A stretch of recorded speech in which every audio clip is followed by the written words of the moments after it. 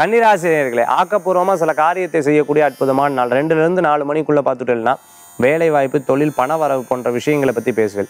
தந்தை தந்தையை சார்ந்த சொந்த பந்தங்கள் அவள் யார்ட்டையாவது பேசினா அப்படின்னு சொன்னால் அதன் மூலமாக அவளுக்கு ஏதேனும் உதவி வேணும்னா நீங்கள் அந்த உதவியை செஞ்சு அதன் மூலமாக பொருளாதாரம் பெறத்துக்குண்டான வாய்ப்புகள் நிறையா இருந்துருக்கு ரொம்ப நாளாக நின்றுட்டு இருந்த ஒரு காரியத்தை நீங்கள் எடுத்து பண்ணுவேல் உங்களுக்கு அனுகூல்யத்தை தேடி வரக்கூடியதாக இருக்குது நண்பர்கள் நண்பர்கள் மூலமாக சில விஷயங்கள்லாம் உங்களுக்கு நல்ல வெற்றிகரமாக நடக்கக்கூடியதாக இருக்கும். எதாக இருந்தாலும் ஒரு தொண்ணூறு சதவீதம் முடியறது அதுக்கப்புறம் தடங்கள் என்ன என்னதான் பண்ணுறது இதை தைரியமாக எடுத்து பண்ணலாம் அப்படின்னு சொன்னால் அதுவும் முடியல. சரி தைரியமாக வேண்டாம் நமக்கா தானாக வரும்னா அதுவும் நடக்க மாட்டேங்குது.